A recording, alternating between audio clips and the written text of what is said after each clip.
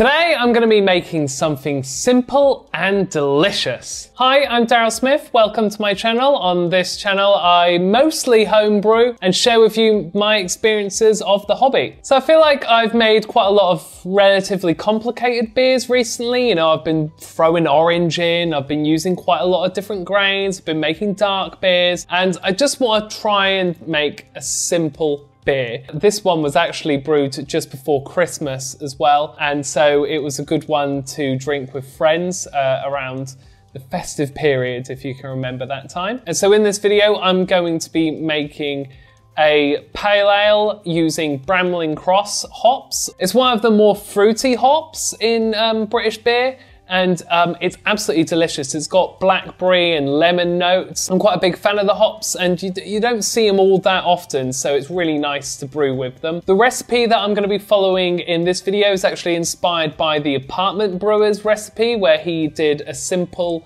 Pale Ale, and uh, you can watch that video here. Really worth a watch and checking out the other videos on his channel. He's absolutely brilliant. Really helped me when I was first setting up brewing as he really specializes in having not very much space when you're brewing. Uh, which I don't have either. So anyway, now that you know all that, let's get to brewing.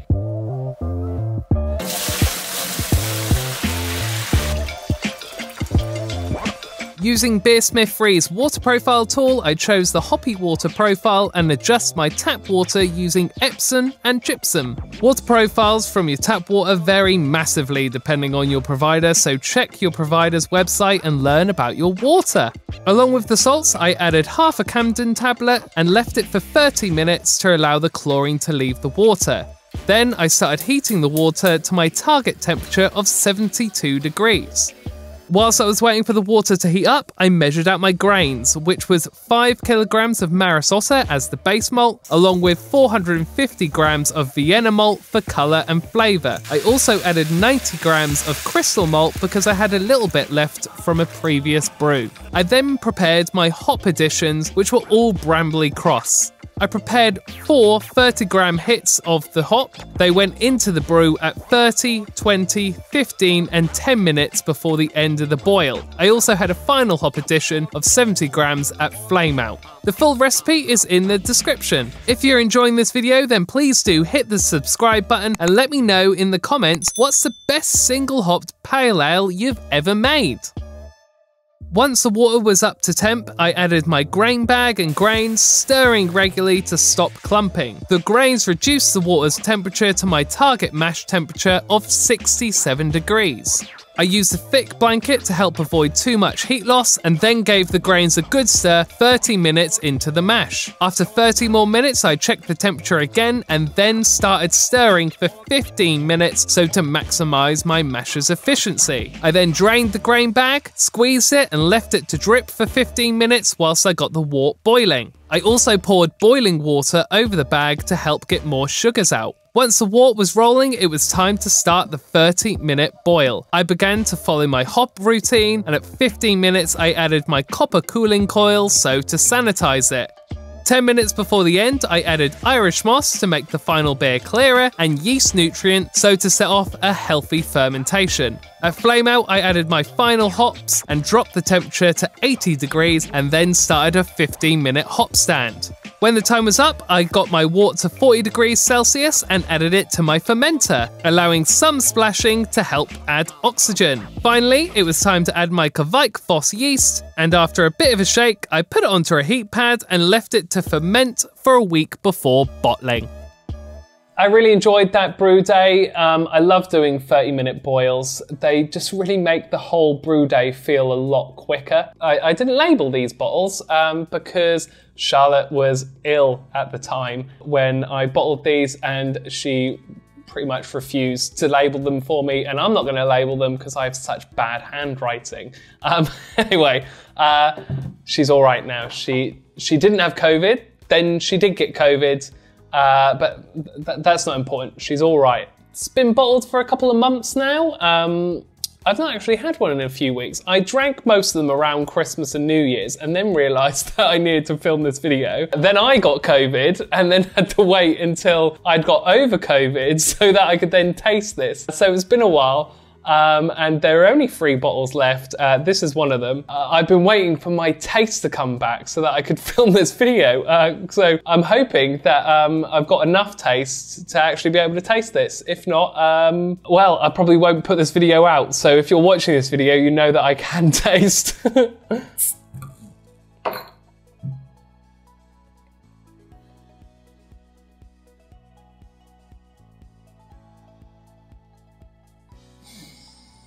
Well, first off, smell wise, you get plenty of the Kveik Voss yeast um, that has got quite a um, powerful character when it comes to beer. So, quite often you can smell it if it's in it. A lemony blackberry smell, I would say that.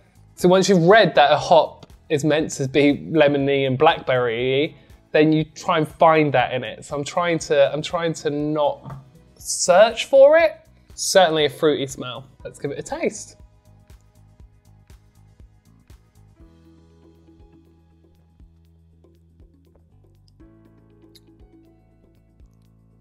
Yeah, blackberries. Really blackberry, really blackberry. Um, yeah, um, I haven't spoken yet about the colour. Well, look at that colour. It's the clearest beer that I've ever made. So clear to have a beer like this brewed with Kveik Voss. I'd have been interested to have dry hop this maybe. I, I didn't dry hop, um, but this probably would have benefited from a dry hop. But I just wanted to make a clear beer. Really proud of how that head's holding. Look at that. It's a very attractive beer. Probably, I'm gonna say this is the most attractive beer that I've ever made, certainly of pales. I feel like some of my other pales have been a bit more murky, maybe, um, but this is beautifully clear. Yeah, blackberries. Uh, I'm not, I don't know if I'm getting much lemon. I smell lemon. Blackberries seem to be the dominant taste.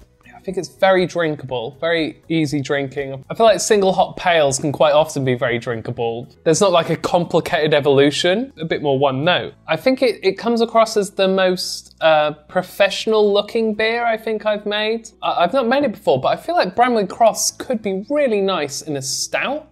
Um, you know, stouts can work really well with quite of like dark fruit kind of flavors. You know, cherry, the cherry stouts really nice. So maybe a Bramling Cross um, stout could be delicious. Or even maybe a black IPA, go bigger on the hops. Uh, I'd be really interested to try that with this hop. I, I really like it. I certainly think that the malt bill here is probably going to be my go-to for a long while now when I'm doing just simple pales. I think I can get really excited so often when I'm reading about different recipes and watching different videos. I'm like, oh my god, I've got to try making a double IPA. I've got, or maybe a triple IPA, uh, although my brewing uh, gear probably couldn't handle a triple at the moment. But you, you get so bogged down, you're like, oh, maybe I should start trying to use fruit in my beers, and that you get so excited, uh, and then you forget that actually keeping it simple can result in your best beers. When you're doing simpler beers, it's much harder to hide bad brewing. So it's a really good way to learn and spot um, mistakes that you might be making in the brew. So I think it's really important to quite often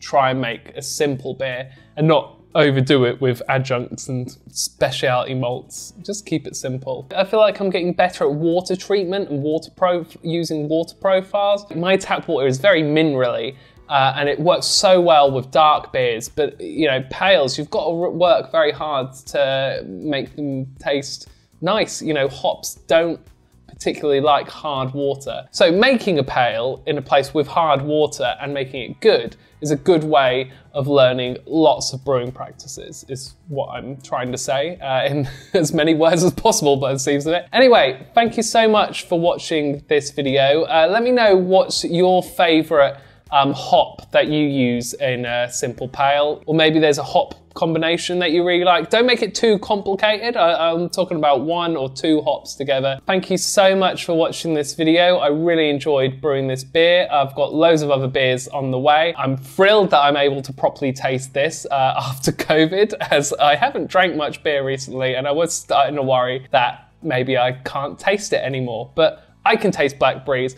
I'm meant to taste blackberries, so I'm thrilled. uh, thank you so much for watching this video, and uh, I'll see you on the next one. Cheers!